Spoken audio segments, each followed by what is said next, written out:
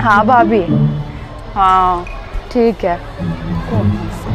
हाँ भाभी बस ये आरू के एग्ज़ाम है ना ये थोड़े से खत्म हो जाएँगे ना फिर आते हैं। अच्छे से आएँगे दस पंद्रह दिन के लिए है ना?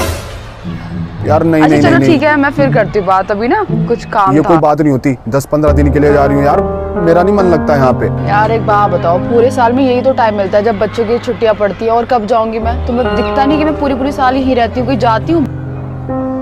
पता नहीं क्या है। मैं ये कह रहा था ये आरू के एग्ज़ाम कब खत्म होंगे? पंद्रह को है लास्ट एग्ज़ाम पंद्रह मार्च। और टेंशन मत लो पंद्रह दिन तो अभी हम तुम्हारे साथ ही हैं। हाँ। ये स्कूल वालों का भी अलग ही ड्रामा है। छोटे छोटे बच्चों के एग्ज़ाम के बीच में चार चार दिन का गैप रखते हैं। यानी बच्चों के एग्ज़ाम जल्दी खत्म कराएँ उन्हें मिले छुट्टी और हमें छुटकारा।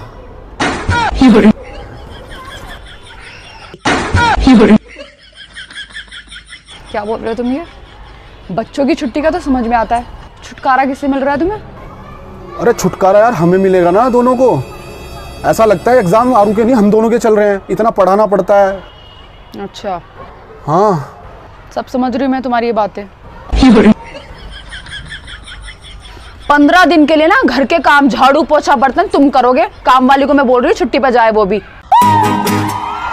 पे राम बगल में छुरी